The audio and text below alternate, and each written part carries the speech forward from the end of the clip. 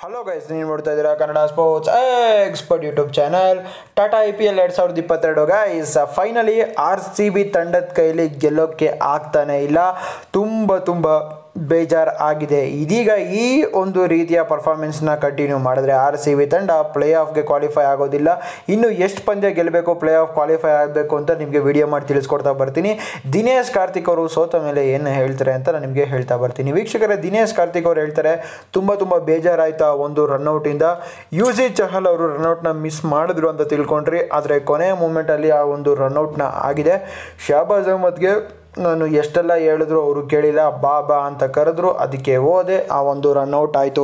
ತುಂಬ ತುಂಬ ಬೇಜಾರಾಯಿತು. ನೆಕ್ಸ್ಟ್ ಪಂದ್ಯದಿಂದ ನಾವು ಈ ಒಂದು ತಪ್ಪುಗಳನ್ನು ಮಾಡೋದಿಲ್ಲ. ತುಂಬ ತುಂಬ ತಪ್ಪುಗಳನ್ನು ಮಾಡ್ತಿದ್ದೀರಿ ನಮ್ಮ ಬ್ಯಾಟಿಂಗ್ ಆರ್ಡ್ರಲ್ಲಿ ವಿರಾಟ್ ಕೊಹ್ಲಿ ಚೆನ್ನಾಗಿ ಆಡ್ತಿಲ್ಲ. ಮ್ಯಾಕ್ಸ್ವೆಲ್ ಕೂಡ ಚೆನ್ನಾಗಿ ಆಡ್ತಿಲ್ಲ.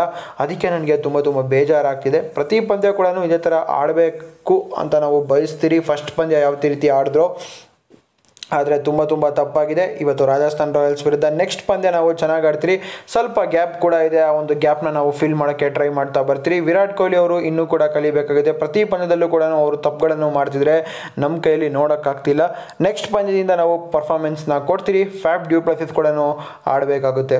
ನಮ್ಮ ಬೌಲಿಂಗ್ ತುಂಬ ತುಂಬ ಚೆನ್ನಾಗಿತ್ತು. ಪ್ರ- ಪ್ರತಿಯೊಬ್ಬರು ಕೂಡ ಚೆನ್ನಾಗಿ ಬೌಲಿಂಗ್ ಮಾಡಿದ್ರು. ಇದೇ ಥರ ಬೌಲಿಂಗ್ ಮಾಡಿ, ಮಾಡಬೇಕಾಗುತ್ತೆ. ಒನ್ ಫಾರ್ಟಿ ಫೈವ್ ರನ್ಸು ತುಂಬ ತುಂಬ ಈಸಿ ರನ್ಸು ಅದನ್ನು ನಮ್ಮ ಕೈಯಲ್ಲಿ ಹೊಡೆಯೋಕ್ಕಾಗಿಲ್ಲ ಅಂತ ನಮಗೆ ಬೇಜಾರಿದೆ. ನೀವು ನಮ್ಮ ಚಾನಲ್ನ ಸಬ್ಸ್ಕ್ರೈಬ್ ಮಾಡ್ಕೊಂಡಿಲ್ಲ ಅಂದರೆ ಸಬ್ಸ್ಕ್ರೈಬ್ ಮಾಡಿಕೊಂಡು ಇದೇ ಥರ ಸಪೋರ್ಟ್ ಮಾಡಿ.